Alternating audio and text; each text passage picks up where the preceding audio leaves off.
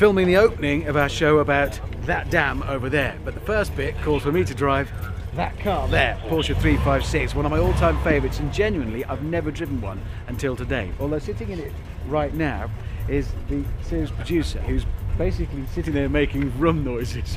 yeah, it's funny, everyone was really happy to get up early this morning to come out and see the car. It's my toy. Horn works.